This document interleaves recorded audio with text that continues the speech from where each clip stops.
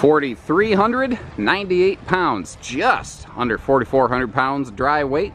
Rockwood 2503S couples camp camping Murphy bed rear bathroom. Uh, monster just came back in on trade here. And uh, we sold this to its one and only original owners. They took it out for uh, better part of a couple years and had a good time. And then they decided you know what? We've got a vehicle that could haul a little bit more than this. And they swapped her out for a White Hawk with a full super slide and a fixed bed and they are rolling out this morning just in time for the 4th of July. Quick look with the slide close. This is a very easy to pack and travel floor plan. Um, you see that you can get to every square inch, everything here in the kitchen, all the big kitchen storage space here in the closet, the pantry, whatever. Obviously getting to your front bedroom uh, wardrobe closet space, very simple and easy with slide close. But you're looking at it and you're going, yes, but how can I get to the refrigerator with the slide out closed? Well, Hans and friends, we have a way. And that's what the bathroom door is for. You walk around here, if you got to pack up the fridge, open the bathroom door, voila, refrigerator. Now inside here, it looks just about like it did the day it first left Haylett RV. This is clean, well kept, well maintained. I'm having difficulty even locating something as simple as a cabinet abrasion or bump or anything like that. This has been very nicely kept. Now what's really kind of cool about these is if I back up a little bit, you see that you get the seating of a big like super slide model. You get the sofa, you get the big U-dinette of a super slide model, but you get it without the weight and like the cost of a super slide. What's nice though, if you take a look, we still get the benefit of this easy, quick setup, one-piece fixed folding Murphy bed right here that makes uh, camping life very simple and easy. You get the benefit of the walk-around queen bed with side stands, with hanging wardrobe closets. But then again, during the day, you can put the bed away and bang, we get all this nice living space. Now you might have noticed how that the bed doesn't block the entry door uh, when it's down, so it's simple to get through.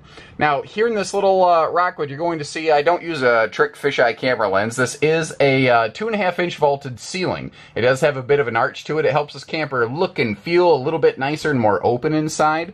And you'll also notice that we have double AC runs. That's the cool thing about these. Rockwood's hyper consistent on their construction methods, and this little, mostly one room camper has the same double ducted AC system that a big Rockwood signature fifth wheel has.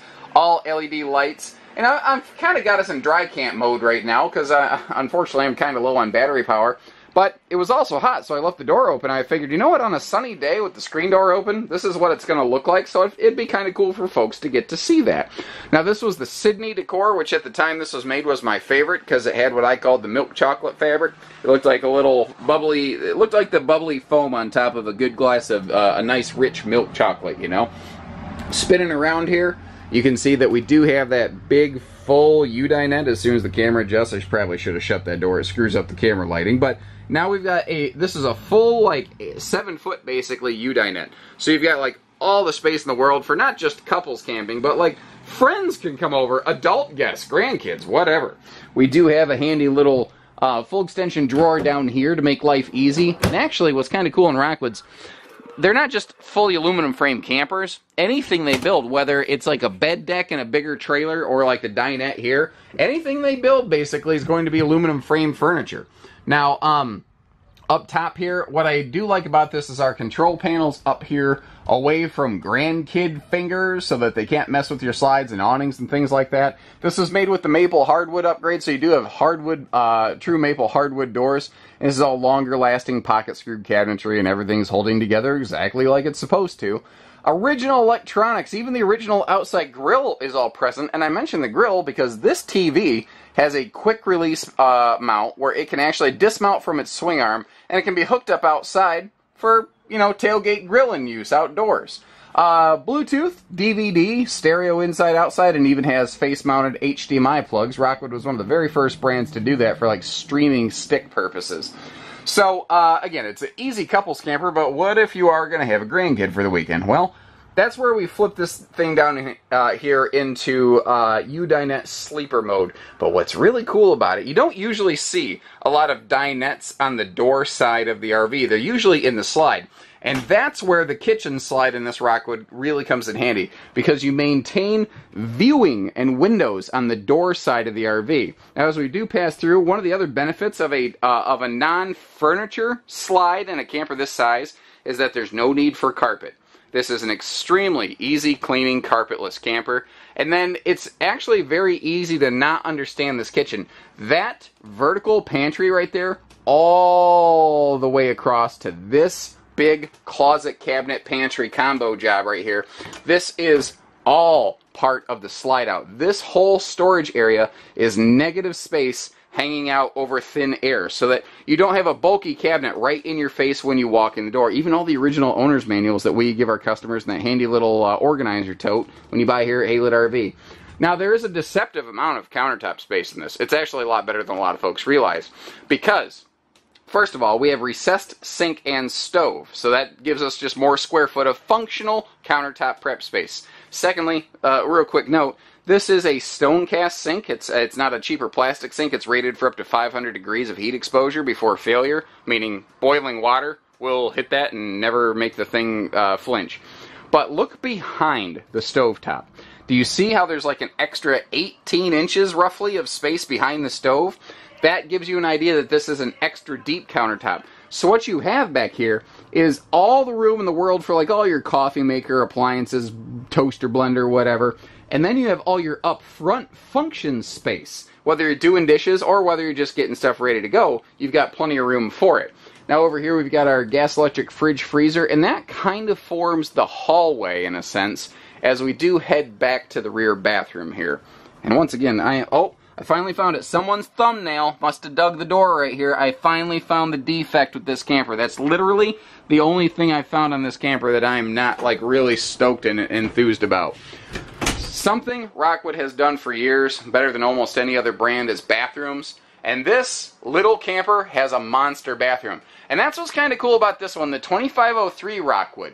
If you follow a lot of Rockwood models, or if you have one of their brochures, or if you just look on our website, this is an interesting offset. This is a uh, uh, an, an, evil twin, in a sense, to the 2507 Rockwood Mini Lite. The difference here is that instead of an outside kitchen in a Murphy bed camper, this one has a direct entry bathroom door instead of an outside kitchen. So what that means is this is an easy come go floor plan with full access in transit and now we've got just an incredible amount of big open bathroom space.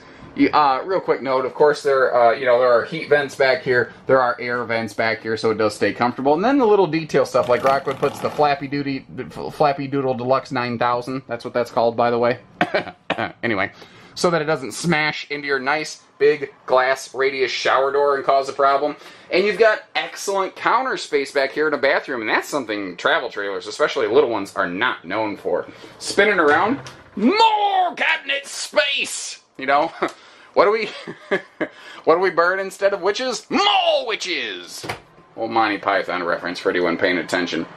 So, that has a deadbolt, by the way, so that people aren't, you know, looking at you in the bathroom. But a, the, the same big shower in here that you'd have, like, in a fifth wheel, big old corner radius shower, and because Rockwoods have a laminated roof, they can actually install skylights at really funky 45 degree angles like this because there aren't wooden cross members that they have to deal with. They can place that skylight anywhere they want to make this thing very tall person friendly even for somebody like me. Outside here, I just just like the inside. I couldn't ask this to be in any better shape.